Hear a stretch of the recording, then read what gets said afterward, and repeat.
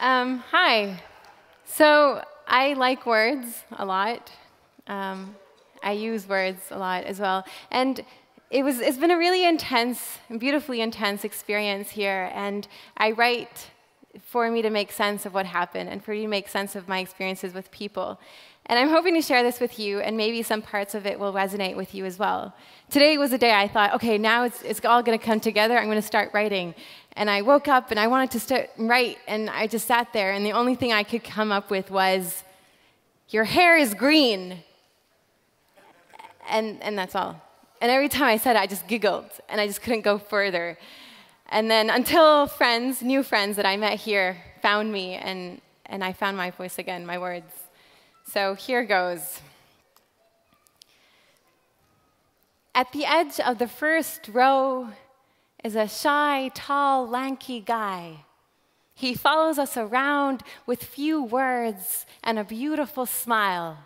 He asked me if we drink mate in Beirut's hackerspace. I quickly said no and went back to listening to a bipolar girl singing her heart out to songs only she knew and perhaps a few others too. Okay, I was the only one who didn't know any of her songs, but she made the cells in my body just forget their functioning. My IP was high on her energy. The other day, I met a polymath, slowly revealing mind blowing things he'd done, like a magician pulling out fantastic wonders out of his hat. He doesn't know it yet, but he's the first person here to make my eyes dance out of their sockets with delight when he said, It's okay to keep that child alive. He drew me open handcuffs, taken flight, the moment after I had put myself on the spotlight for the first time after a speech on a call to arms. And I was ready to run out of here, hide in the woods nearby for a little while until the camp was over. But he caught me at the entrance and said, Your inspiration has legs, it will move forward. Now, I don't know if that's true, but I let myself believe it for a little while.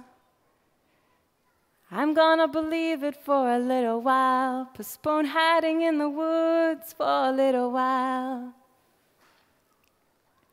In the evening, all those words from debates on crypto cats and copyrights are carried away by the raging wind, and all that's left is just people giggling like children under starlit skies. But soon, soon they'll go back to talking about that device that can pick up conversations from a crowd using microphones hung in a circle all around from a distance. And you, you might be listening in and if you are, read my lips. There are people in this room, tent, tent room, who live on a dime just to make the world less worse than it was yesterday.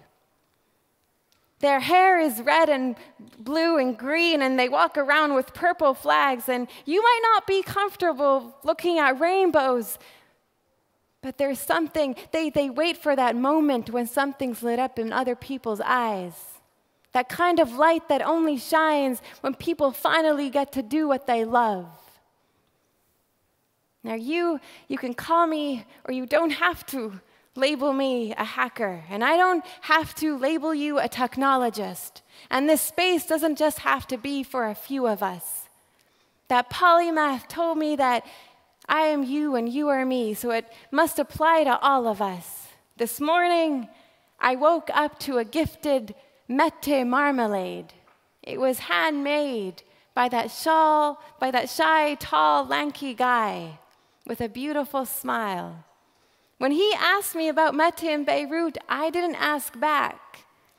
And he didn't get to tell me that he created a new product for mate, and I won't get to tell him that it was delicious, especially with peanut butter and toast. If you want to know what happened at OHM 2013, don't listen to me. Just ask a scientist. Thank you.